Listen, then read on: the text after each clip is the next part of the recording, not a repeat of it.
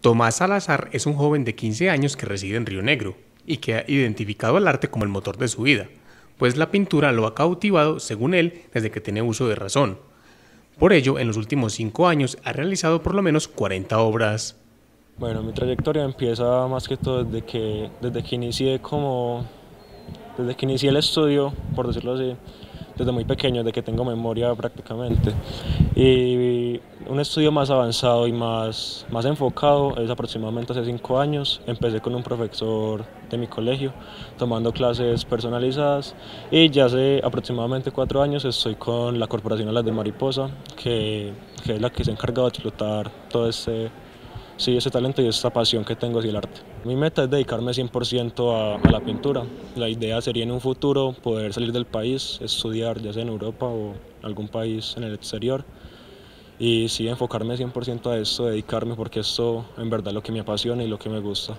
Mi familia me ha apoyado mucho, demasiado en esto, con todo el apoyo emocional, mmm, económico y nada, para mí es muy, muy, muy gratificante que que mi familia, que he tenido el apoyo de ellos, he contado con todo para lo que necesite, ellos están.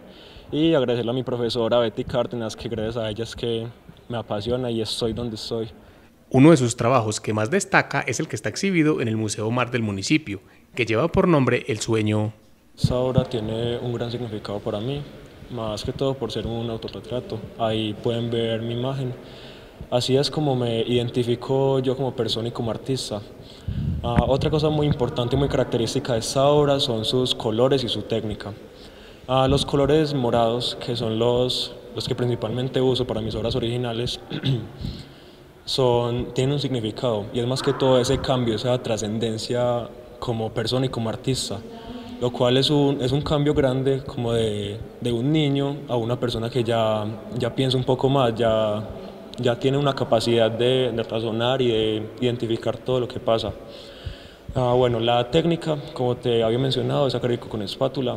Cada uno de estos cortes tiene un sentimiento, por lo que podemos ver a cada una de, de la carga matérica que tiene, de ese, de ese expresionismo que lidera cada una de estas es algo, es un sentimiento muy especial. Mi Instagram aparezco como tomasalazar.art, ahí van a encontrar una gran variedad de mis obras personales.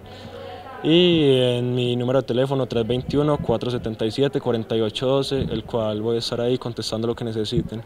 Este estudiante rionegrero de décimo grado que vive en la organización Torres del Campo por lo pronto quiere seguir conociendo todas las técnicas pictóricas y en un futuro estudiar artes plásticas en el extranjero.